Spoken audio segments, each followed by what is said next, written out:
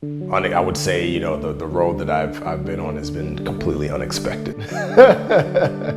like, when I look at every aspect of my life, even where I'm at today, it's unexpected. You know, it's like, how did this happen? but it's not, wasn't my plan, you know. Remi Adeleke was born in Nigeria into a very wealthy family. His father was a well-known businessman and engineer and his mother was an American from New York City who met him on one of his many business trips. My family had everything. We had cars and nannies and drivers. And uh, uh, my daddy engineered one of the first man-made islands in the world. so yeah, I am, this kid whose dad created an island.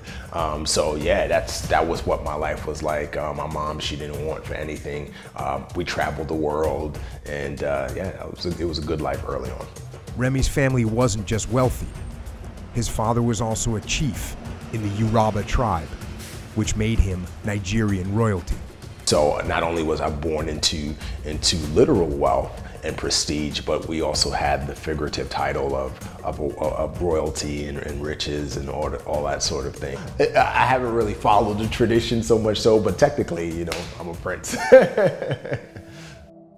The family's wealth and status also made them a target for those jealous of what they had.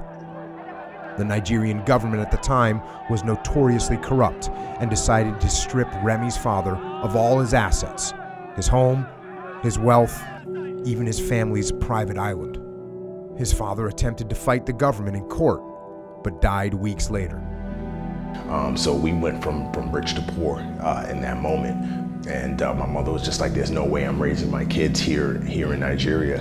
And so that's when she permanently relocated my brother and I to the United States, specifically the Bronx, New York.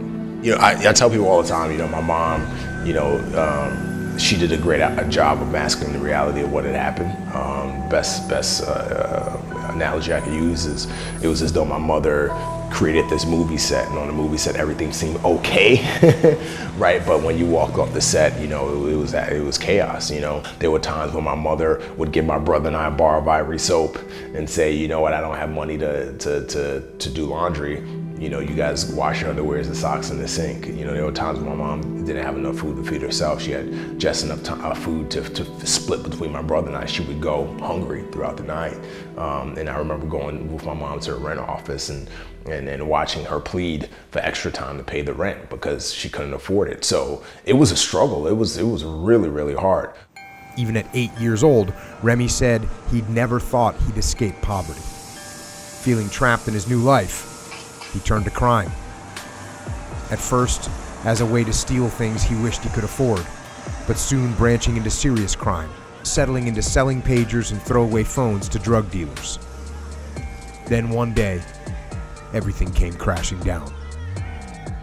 Yeah, yeah, I sold a drug dealer um, um, a bunch of phones and, and, and pagers that were supposed to last for a certain amount of time and only last for a fraction of that time, and that was because you know, the people I was kind of working through, the company I was working through, caught on to my scam.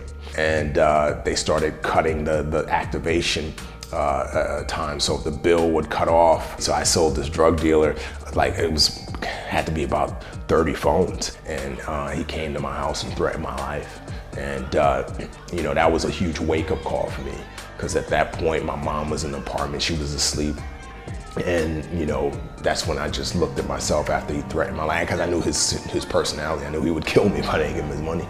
And I, I, said, you know, I'm gonna give him his money back. And I got him his money back in a day. And then I decided I'm, I'm getting out of this game because it's not worth my life or my mother's life. So that's when I decided I'm done with all the illegal stuff. No more drug dealing, no more cell phone stuff. I don't know what I'm gonna do with my life, but uh, I'm not gonna do this anymore.